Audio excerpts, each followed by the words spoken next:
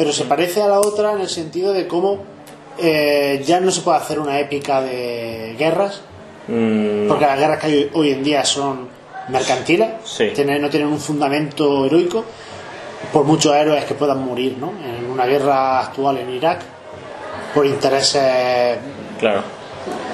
que no voy a decir de quién, Bueno, para que no te censuren. Y bueno, no, si quien me quiera censurar me va a censurar por, por yo qué sé, por cualquier cosa, por comer chocolate, que no sé si se ha dado cuenta hoy alguien de que lo hemos hecho. Eh, ¿Y cómo se llama lo que estamos, lo que hemos comido de, de Cuenca? ¿Cómo se llama? El alajú. hostia, pues creo que es torta de alajú. Torta de alajú, eso es lo que- que, creo que acabamos sí. de probar hoy y ha sido nuestro mayor descubrimiento. Ha sido como el- hemos sido como los Rodrigos de Triana de, de, del- de la gastronomía conquense. Vaya, con lo Este- cerca que está y lo poco que conocemos. Bueno, cerca. No se vaya a creer la gente que estamos en. en- bueno, no, no, no estamos cerca de. De Cuenca. Cue- bueno, estamos cerca de Cuenca. No, estamos cerca de Cuenca. Estamos más cerca de Cuenca que de Nueva York. En el siglo XXI estamos cerca. Venga, sí. Bueno, eh, Andando no, pero- Andando no podemos. La, los finiquitos de este programa siempre son tops, pero antes de tu top voy a, voy a preguntarte algo, voy a preguntarte también algo de top, pero de forma objetiva. De forma objetiva, ¿cuál sería el poema de la Edad Media? Ya que hemos dicho que luego ya a partir del Renacimiento ya no, ya no funciona este, esta premisa. ¿Cuál sería el poema épico de la Edad Media más parecido a Homero? Para que la gente que a lo mejor ha seguido nuestro programa o A que, o que sea, ¿La Iliada o la Odisea? Si quiere de los dos, Mm. si son distintas respuestas. Si la gente, si la gente está enganchada a nuestro programa, Sí.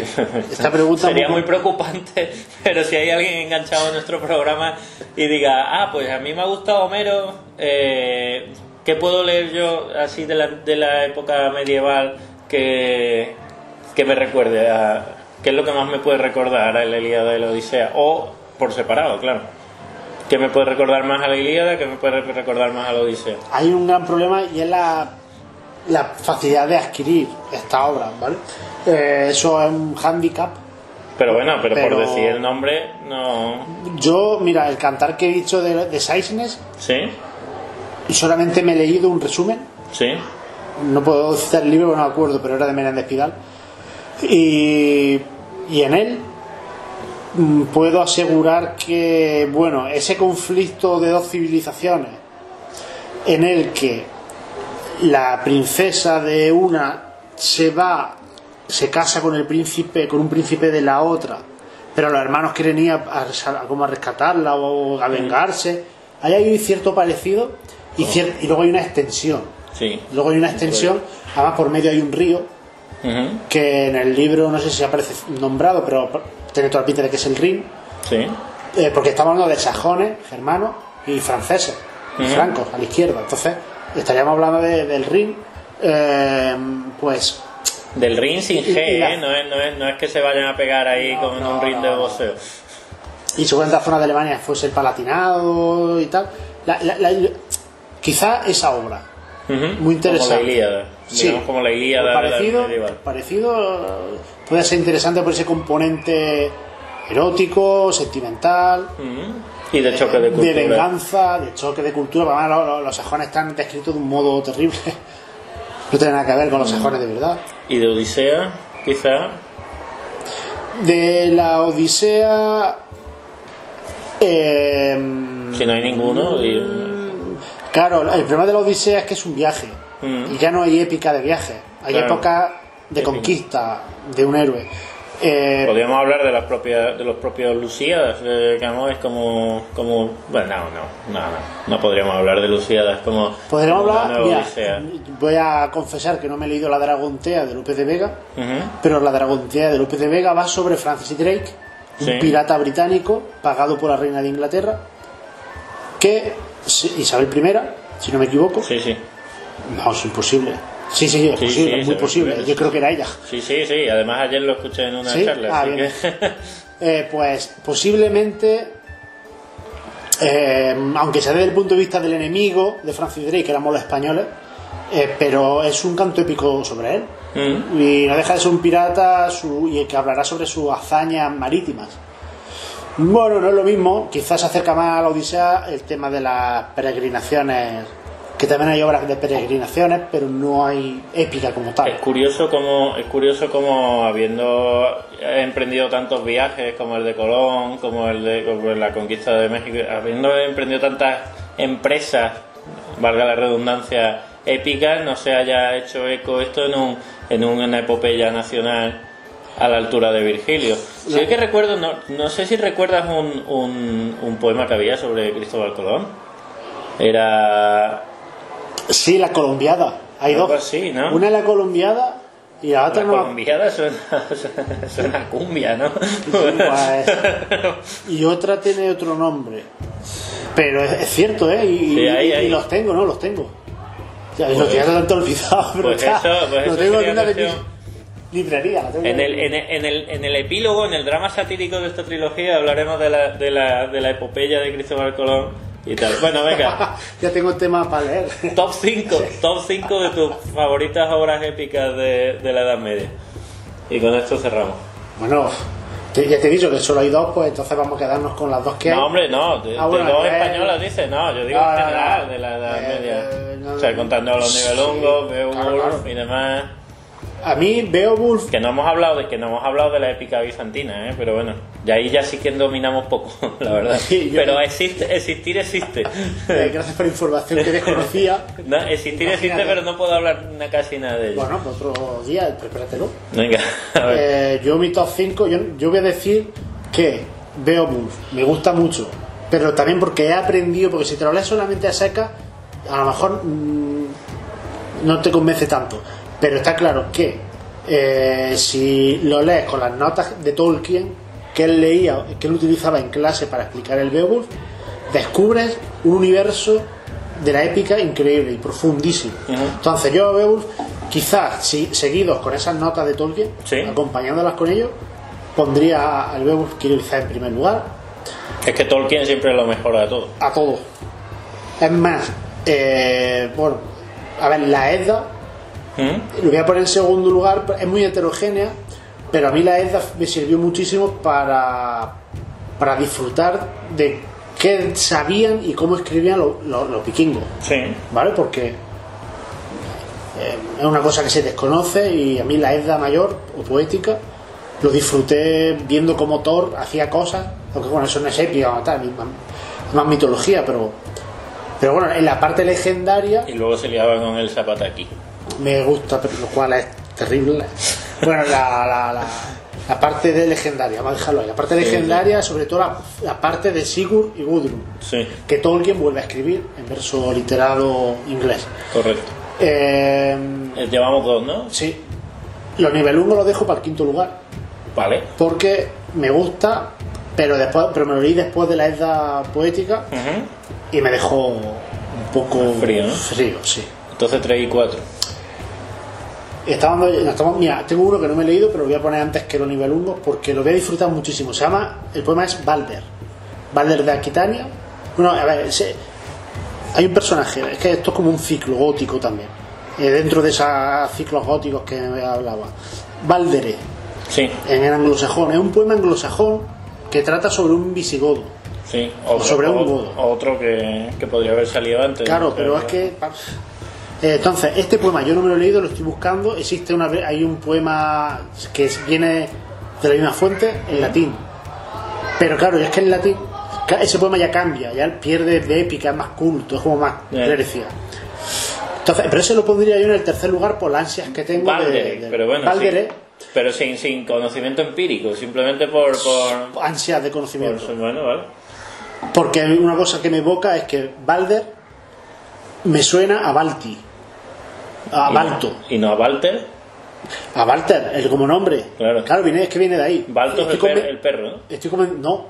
A que esa es la dinastía de los visigodos que reinan en España. Y de ahí viene Báltico. No lo había pensado. Habría que mirar en Wikipedia. Cuidado. a ver qué dice. De, de todo esto lo vamos a resolver en Wikipedia. No sé dónde viene, no, es báltico, pero, Báltico. pero a ver, los baltos son los baltos y los amalos. Los baltos son los visigodos, los amalos son los ostrogodos. Bueno, pues los baltos, o sea, hay un poema que va sobre un visigodo que es Walter. Y para mí es como si fuese una especie de idealización del pueblo, de la dinastía. Me, lo- me lo imagino Sí, así. sí, como, como los héroes fundadores de Eolo, Juto, Ión, estos los héroes fundadores de, De los pueblos griegos de los pueblos griegos, estas cosas. A ver si nuestros primos de, de los visigodos van a, van a estar en Letonia y no lo sabemos. Y Los segura- países bálticos. seguramente quedaron allí algunos que no quisieron seguir peregrinando. Bueno, y el número Creo. 4 supongo que será ya una española, ¿no? ¿O no? No, no quería hablar de españoles, Bueno. porque como sería muy utópico, ¿no? Pero bueno, mira, voy a meter uno. El poema de Fernán González, que es un poema Es épico, pero es de clerecía, no es de jugularía, pero es épico. Vale. Y hay descripciones de batalla increíbles. Y además aparece un detalle muy chulo, y es la compra de la eh, es la compra de la libertad de Castilla por Mm. el precio de un caballo Vale. que dice Menéndez Pidal, y ahí aparece, que dice Menéndez Pidal que es un tema épico gótico, que viene desde los más orígenes, porque Jordanes, que es un historiador, Sí, el historiador tar- tardo latino. No, No, es bizantino. Es bizantino, bizantino. o sea, él es de origen godo, sus padres, sus abuelos, pero él ya vivía en la corte bizantina Mm, y mm. escribe la historia de los godos. Pues ahí ya menciona cómo el ori- en el origen del pueblo godo, su libertad, porque los godos pone que eran esclavos, y que, y que los godos decían que ellos habían comprado su libertad por el precio de un caballo. de un caballo. Y ese tema luego aparece en este poema. Y dice Menéndez Pidal que es un resto que se había mantenido en el legendarium de el pueblo godo que llega a Castilla y habita el centro de la península ibérica. Entonces esto es muy interesante y nomás que por eso lo voy a meter ahí. Entonces tenemos número uno el, el Beowulf con Sí. las notas de Tolkien. Número dos la Edda. La de, Edda mayor. de- la Edda mayor, concretamente. Anónima, anónima, sí. De, Se recopila en la- el siglo XII, pero ahí hay poemas que pueden venir incluso del siglo VIII, VII. Sí, pero digo, de la cultura así islandesa. Islandesa, sí. Tercero hemos puesto Valdere, Valdere. Valdere. Cuarto hemos puesto a este último que has dicho, El cuarto, el poema de Fernán González. Fernán González. Y quinto, el Nivelungo. Sí. Bueno, y con esto vamos a cerrar. Si no, si no quiere añadir nada más. Que vamos a decir que ha sido. Bueno, quiero decir que Fernán González es el primer conde independiente de Castilla. O sea, verdad. es un poema muy importante en ese sentido, porque es como Castilla pertenecía al rey de León, pero a partir de entonces siendo, sigue siendo condado, pero ya se man- ya digamos que no depende de las órdenes de reyes. Por tanto, esto es mi. De ahí, la- de ahí la importancia de la épica, la épica surge ahí, en el nacimiento de los pueblos. Por tanto, esto mis antiguos vecinos leoneses que no lo lean, para que no se enfaden con, con Fernán González y, y con Castilla. No, bueno, puedes leerlo, porque de hecho Fernán González. eh, no, ah, no, nada, es que es, es eh, un, un bisnieto o tataranieto, no recuerdo, Sí. que es el último conde de Castilla, el infán García, eh, que va a casarse con una leonesa y lo matan en León, Pues entonces, Por rebelde. con menos razón. pero lo mata una familia concreta. Sí. No es una confabulación del reino de León contra Castilla. Eh, Hay una familia completa que se quiere vengar de él y aprovecha que viaja a León para casarse con la princesa cuando la mata. Algo el, hecho de, el, hecho, el hecho de que se fuese a casar el conde con una princesa leonesa ya indicativo del buen rollo, del intento de llevarse bien y, y O la prueba. intento, o del intento de dominar dinásticamente. Pero la prueba está en que el siguiente conde de Castilla ya es rey de Castilla y es de León. Que si no recuerda es Fernando I. Bueno, Perdónenme los historiadores si me equivoco. sí, no, que nos perdone todo el mundo. Pues, pues nada, y que nos perdonen por, por habernos pasado el tiempo, en realidad, que al final nos hemos pasado el tiempo. Pero bueno, grata conversación, grata conversación, gratas sorpresas las que me he llevado aquí. Eh, yo creo que todo el mundo hemos aprendido cosas, sobre todo con, con los modelos de, de épica que, que se dan en la Edad Media, para que vean que esto de los géneros literarios pues se continúa.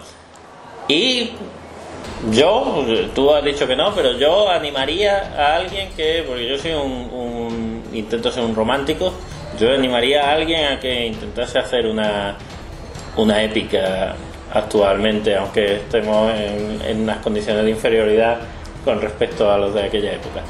Y bueno, y sin más, pues lo vamos a, primero que lo lean, claro, primero que lo lean y luego cuando se empapen, se imbuyan del, de ese prurito y de esa y de ese y de ese foie épico, ahí a darle ahí y si hay que matar por el camino alguna civilización, pues Claro, destruimos. necesitamos argumentos para necesitamos necesitamos si, si no es de aquí de otro planeta y si no pues imaginaria Sí. y si no es la Antártida que según dicen ahí están los, los guardianes de la Tierra plana bueno pues vámonos a, a descansar y vamos a dejar descansar a nuestra Bueno, a audiencia nosotros que si estamos llenos de FUA vamos a echar una partida al Risk. Sí pa- vale vamos a echar una Bueno, si partida de. RIS pero de la Tierra media Claro. De Middle Earth. Así que ahí sí que hay épica, porque ahí, ahí podemos descubrir todo lo que sea. Bueno, tampoco, porque ya tenemos que inventarnos. Bueno, da igual. Lo que queramos. Que, que nada, que lo pasen bien hasta, hasta la próxima escucha. Adiós. Adiós. Time after time, follow the line taking me away from you. I never felt that way before. I'm losing control driving